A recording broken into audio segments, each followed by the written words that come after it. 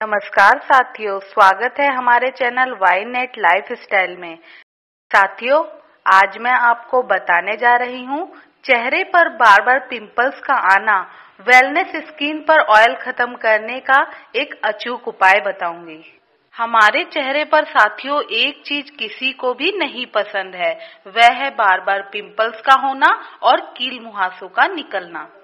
हम इसे हटाने के लिए कई तरीके की दवाइयाँ और कई तरीके के घरेलू उपचार अपनाते हैं। लेकिन पिंपल्स एक जगह से खत्म होकर दूसरे जगह हो जाता है, जिससे कि समय के साथ वह बाद में कई तरीके के निशान दाग धब्बे छोड़ जाता है। इसका मुख्य कारण है चेहरे पर ज़्यादा मात्रा में ऑयल का होना। इसलिए आज मैं आपको एक ऐसा अचूक उपाय बताऊँगी, जिससे आपके चेहरे से कील मुहासे दाग धब्बे खत्म हो जाएँगे और किसी तरह का नुकसान भी नहीं होगा।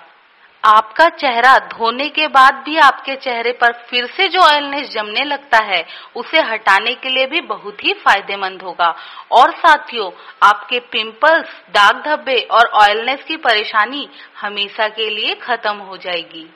चलिए साथियों, आज की वीडियो शुरू करते हैं। इस नुस्खे को बनाने के लिए सबसे पहले दोस्तों आपको एक एलोवेरा लेना है। उस एलोवेरा का जूस निकाल लेना है। आपको एक चम्मच एलोवेरा का जूस मतलब गूदा, निकालना है। निकालकर उसे एक कटोरी में रखना है। उसके बाद दूसरी जो चीज़ है, वह है नीम। हमें कुछ नीम के पत्ते लेने हैं और उसको अच्छे से धो लेना है। धोकर आपको अच्छे से साफ़ कर लेना है। आपको एक कटोरी नीम के पत्ते लेना है और आपको इसमें थोड़ा सा पानी डालकर इसे अच्छे से पीस लेना है। पीसने के बाद इसका एक पेस्ट तैयार हो जाएगा। आपको नीम के पत्ते का पेस्ट एक चम्मच लेना है और उसको एलोवेरा जूस के साथ अच्छे से मिक्स कर लेना है। दोस्तों, तीसरी चीज़ जो है आपको लेनी है, वह है बेसन। आपको बेसन भी एक चम्मच लेना है।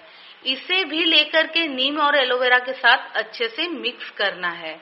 साथियों, बेसन जो होता है, वह हमारे चेहरे के ऑयल को खत्म करता है और साथ ही साथ हमारे चेहरे पर चमक लाता है। जब आप नीम और एलोवेरा में एक चम्मच बेसन डालेंगे तो वह एक बहुत गाढ़ा सा पेस्ट बन जाएगा। आपको उस पेस्ट को थोड़ा सा पतला करने के लिए थोड़ा सा गुलाब जल ऐड करना है। गुलाब जल दो चम्मच लेना है। साथियों, जब आपको पेस्ट बनाना है तो एक बात का खास ध्यान रखना है। पेस्ट हमारा ज़्यादा गाढ़ा ना हो, थोड़ा लिक्विड फॉर्म में हो। चाहे तो आप थोड़ा सा गुलाब जल और ले सकते हैं। अब हम जान लेते हैं कि इस पेस्ट का इस्तेमाल किस प्रकार करें। इसका इस्तेमाल करने के लिए आपको थोड़ा सा कॉटन लेना है और उसको उस पेस्ट में डुबाकर आपको अपने पूरे चेहरे पर अच्छे से लगाना है। इस पेस्ट को लगाने के बाद साथियों, आपको कॉटन की मदद से पूरे चेहरे पे रब करना है हल्का हल्का मसाज करना है और 30 मिनट के लिए आपको उसे चेहरे पर लगे रहने देना है। इसके बाद साथियों, आपको इसे नॉर्मल पानी से धोना है। साथियों, आप इस पेस्ट को किसी कांच के बर्तन में दो तीन दिन के लिए स्टोर भी कर सकते हैं। आपको इसका इस्तेमाल रोज़ाना करना है।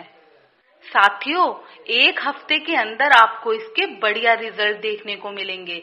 आपके चेहरे से जो पिंपल्स है, वह धीरे धीरे कम होता चला जाएगा और साथ ही साथ आपके चेहरे से ऑयल की मात्रा को खत्म करेगा।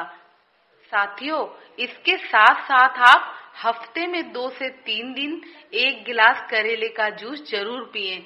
या फिर साथियों, आप नीम का पत्ता उबालकर उसका पानी भी पी सकते हैं। क्योंकि साथियों, यह दोनों चीज़ें आपके ब्लड को साफ़ करती है, जिससे आपके चेहरे पर बार बार पिंपल्स होने की समस्या खत्म हो जाती है।